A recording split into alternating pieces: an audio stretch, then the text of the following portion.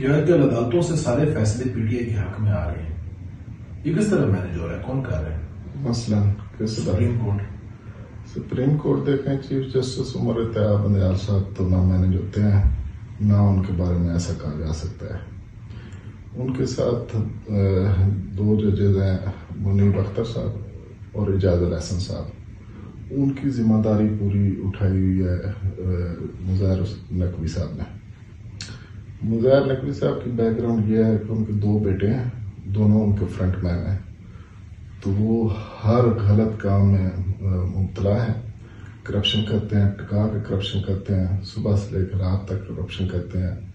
तो पीटीआई और चोई साहब भी उनके बारे में ये कहते हैं कि भाई ये हमारे अदालतों में लुकआउट करते हैं, फैसले हमारे आँख में दिलवाते हैं तो इनका कोई काम रुकना नहीं चाहिए।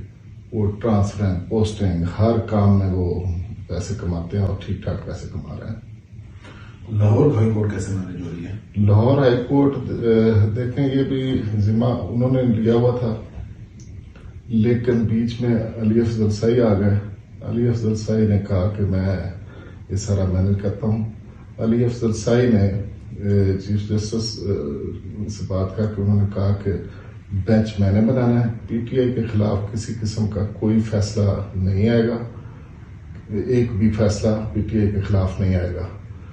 तो उसके बारे में वो चीफ जस्टिस साहब भी अपने फ़ायदे शायद उठाते रहे ठीक ठाक फ़ायदे पीटीआई के कहने पे उनको फ़ायदे मिलते रहे वो भी अपने सारे काम निकलवाते रहे और अपने दामाद के लिए भी उन्होंने दस पंद्रह अरब के प्रोजेक्ट पेपर प्रोजेक्ट के लिए तो कौन सा प्रोजेक्ट?